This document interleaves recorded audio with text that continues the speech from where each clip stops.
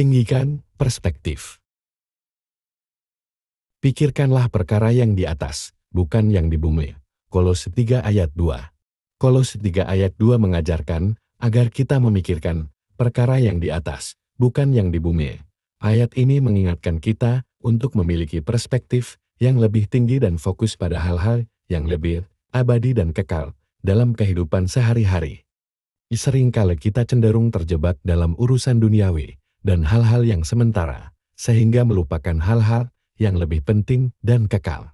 Pikirkanlah yang di atas, mengajarkan kita untuk tidak terlalu terpaku pada kesenangan dan kesibukan dunia ini. Kita diajak untuk memikirkan hal-hal yang bersifat rohani, seperti hubungan kita dengan Allah, kebajikan, kasih, dan pelayanan kepada sesama dengan memfokuskan pikiran dan hati pada hal-hal yang di atas. Kita akan memperoleh kebijaksanaan dan pandangan yang lebih jernih dalam menghadapi segala situasi. Selain itu, pikirkanlah yang di atas juga mengajarkan kita untuk mengatur prioritas dalam hidup. Seringkali kita terlalu sibuk dengan urusan duniawi, sehingga melupakan Tuhan dan kebutuhan rohani kita dengan mengutamakan hal-hal yang di atas. Kita akan lebih memperhatikan hubungan kita dengan Tuhan dan berkembang dalam iman, harapan, dan kasih.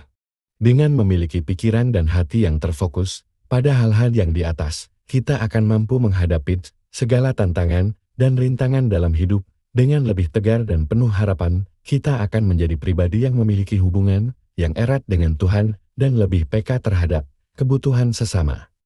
Oleh karena itu, marilah kita tinggikan perspektif dan pikirkanlah yang di atas, bukan yang di bumi.